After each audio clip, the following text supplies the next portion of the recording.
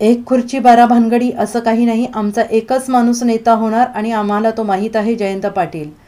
एक रुपयाचा पीक विमा करण्याची जी घोषणा होती त्या घोषणेची अंमलबजावणी झालेली नाही. बऱ्याच वेगवेगळ्या मार्गाने पैसे घेतले जातात. एक रुपयांवर अधिकवर खर्च करावे लागतात. सगळ्याच योजना फसवणुकीच्या आहेत. पराभव होणार आहे. लोक विरोधात गेलेली आहेत आणि त्यामुळे आमच्यात वाद लावण्याचा प्रयत्न केले जात आहेत. आम्ही सगळे एकसंघ आहोत. सुजाण आहोत आणि ठामपणाने महाविकास आघाडी महाराष्ट्रातल्या जनतेसमोर आहे. एक खुर्ची बारा भानगडी असं काही नाही. आमचा एकच माणूस नेता होणार आणि तो आम्हाला सगळ्यांना माहीत आहे. सगळे सभागृहात भेटत असतात कामासाठी सगळे सगळीकडे जाऊ शकतात. अशा सगळ्या योजनांमध्ये जर तर आहे. चिंतन करण्यासारखी परिस्थिती महाराष्ट्रात भाजपावर आलेली असल्याचं शरद पवार गटाचे प्रदेशाध्यक्ष जयंत पाटील यांनी प्रसारमाध्यमांशी बोलताना सांगितलं आहे. Bureau report S B N Marathi Sangli. एक रुपयाचा विमा जो करण्याची घोषणा होती त्या घोषणाची अंमलबजावणी सरळ झालेली नाही. आपण म्हणताय तसे बरेच वेगळ्या मार्गाने पैसे घेतले जातात. एक रुपया अधिक वर काही पैसे खर्च करावे लागतात.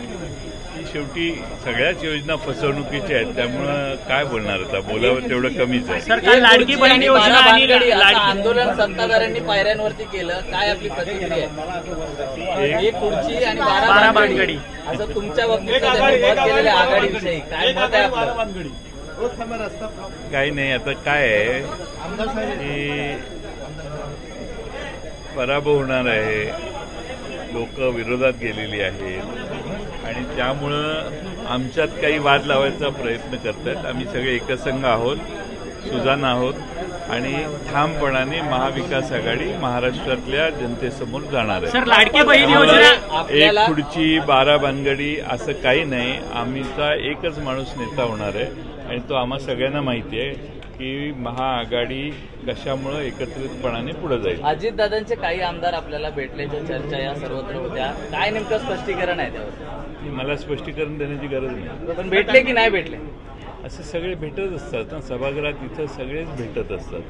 अनेक जण या राज्याचं काम पाहिलेलं आहे आज कसं म्हणणार ते?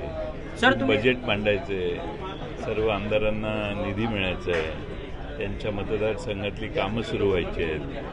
ह्या सगळ्या वेळ झाल्यानंतर मग बरेच जण विचार करतील. सर याला जोडून प्रश्न आहे की पहिल्या दिवसापासून चर्चा चालू आहे की अजित पवारच्या काही आमदार तुमच्या संपर्कात आहेत. मात्र आज अमोल मिटकरी असं म्हणाले आहेत की तुतारीचे दोन आमदार जे आहेत ते देवगिरीवर बसून कांदे पोहे खात आहेत. खात असतील ना त्याला काय? क- कामासाठी गेल्यावर कांदे पोहे मिळत असेल तर ते खाणारच ना. कामासाठी सगळे सगळीकडे जाऊ शकतात. त्याच्यात सर तुम्ही राज्याचे अर्थमंत्री संपर्कात असलेले आमदार जर महाविकास आघाडीला तुम्ही मतदान केलं विधान परिषदेसाठी तर महाविकास आघाडी चौ- तिसरा किंवा चौथा उमेदवार देईल विधान परिषदेसाठी. आम्ही आज उद्या बसून चर्चा करणार आहोत आणि मग सर. अर्थमंत्री म्हणून तुम्ही या राज्याचं काम पाहिलंय परंतु काल लाडकी बहीण योजना जी आणलेली आहे त्याचे निकष जे आहेत ते अधिक प्रमाणात जटिल असे निकष आहेत खरं तर ह्या योजनेचा सरसकट लाभ होणार नाहीये संजय गांधी निराधार योजना आणि श्रावणबाळ योजना यांचा अ, लाभ घेणाऱ्या महिलांना या योजनेचा फायदा मिळणार नाहीये अशा सगळ्याच योजनांमध्ये जर आणि तर आहे बऱ्याच ठिकाणी पात्र लाभार्थ्यांना घरं देऊ. ते पात्र लाभार्थी जी आहे ती प्रोसेस आहेच ना त्यात नवीन काय?